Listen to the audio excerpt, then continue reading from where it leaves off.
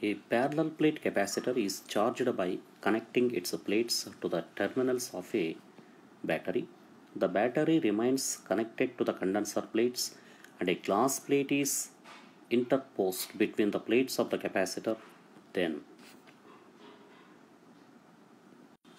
as per the question, as battery is continue.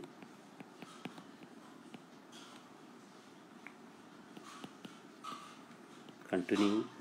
The potential difference remains constant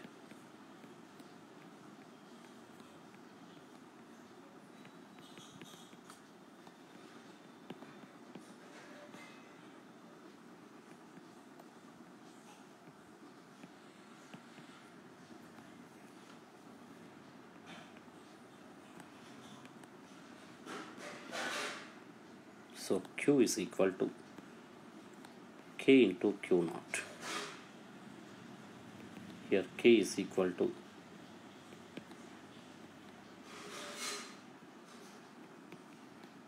dielectric constant.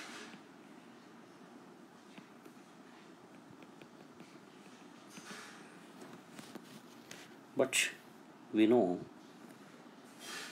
capacity of the parallel plate capacitor whenever the dielectric of dielectric constant k is introduced c is equal to k epsilon naught a by d. But epsilon naught a by d is nothing but capacity of the capacitor whenever the aid between the plates.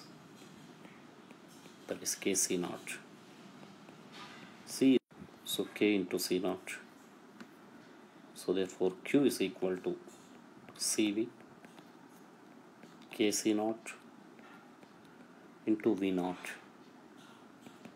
Therefore q is equal to kq naught. Since q naught is nothing but c naught v naught. So the first option is the right option